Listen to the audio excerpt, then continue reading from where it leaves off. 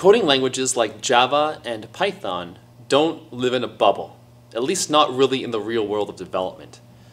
As we're learning and as we're students, we often just kind of sit in our one environment. Maybe we just write in Python, just write in Java as we're learning the basics, as we get our skill sets built, as we learn how to create good programs, build good habits of coding, and all these great things that we're learning in this course. However, there comes a time where we want to branch out into the wider world of this tech development space and take a peek at some of the other opportunities that we have of things we can interact with using our coding languages. Because the reality is that in a lot of the development that happens and in a lot of jobs that are out there, you will not just be writing in a single language. You might be writing in multiple languages, or maybe a core coding language and some scripting languages to support some side development. You could be, for example, branching out from Python or Java to interact with a game engine if you want to be in game development, where you actually have to learn about how that engine manages all sorts of different types of data, inputs and outputs, and how these programs can communicate with the engine back and forth to get this product up and running. Or maybe you want to be able to connect to some database or learn how to type or to write. Spell is what I'm looking for. Man, my brain doesn't work well. I'm thinking on the fly sometimes. A database where we need information to be stored and retrieved in complex ways. There's huge database systems out there like SQL is a, probably the most popular, biggest one right now, whose job it is is to make managing massive amounts of data and accessing all sorts of combinations of information to produce graphs and charts and process all of the huge, massive spectrum of different things. And Python and Java can both interface with these databases to be able to manage some of the logic, but the data itself is managed over here to make the overall complexity a lot more easy, a lot more convenient, and transferable to other things. You could also think about actually being able to work with some of this code maybe in with some different types of dev strategies or dev platforms. A huge, that says platforms. Let me write that again. Platforms. What I'm thinking about here is things like machine learning, AI, where we have these different kind of platforms that are sometimes built on top of these languages or sometimes ancillary and we work alongside of them to actually do some really high level manipulation of information, do some data modeling and maybe produce some kind of automated artificial intelligence behavior that then can maybe report data back to our programs written in these languages and work in tandem with one another to solve really intricate, interesting problems in new design spaces.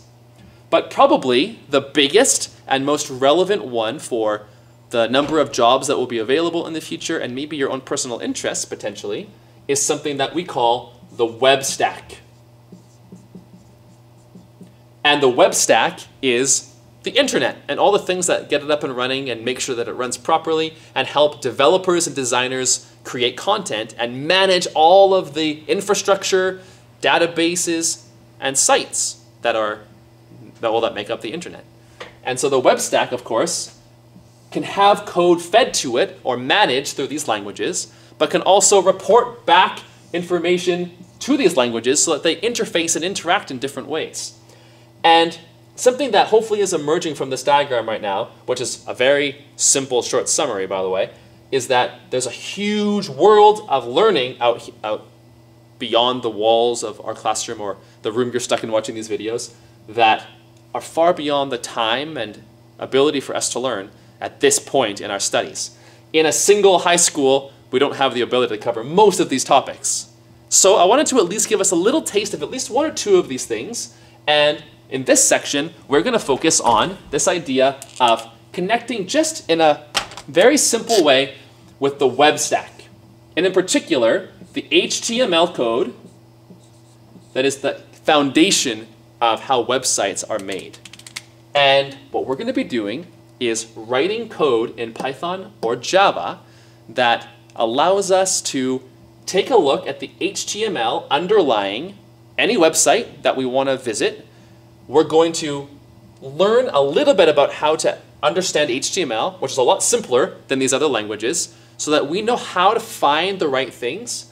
And we're going to allow our coding languages to run some scripts or some logic that's going to query these websites and dig and scrape through all of their data to extract information that we want to pull into our program with the idea of making a bit of a web scraping bot. Something that's going to be able to, in an automated way, when we run it, go to all sorts of different web sources that we've pre-programmed, extract the data that we want, and then synthesize it together for us, maybe producing a report or giving us a bit of an analysis of things, letting us know and making our data gathering, our content consumption of the web a little bit more efficient because we can curate what we want our own web scraping bot to do for us so that we don't have to go to all those websites and scroll up and down because we've coded it right. It's going to be able to search for us, extract the data, and present it to us in the way that we create. So I hope you enjoy this opportunity in this unit to experience one of these extra branches of this development stack by focusing directly on the web stack and specifically just a single simple subset, HTML, as we use our languages to pull data. And I hope that it sparks a bit of an interest in your mind for the types of courses you might be able to study in university or on your own time to learn a lot more about some of these other different areas as well. Enjoy!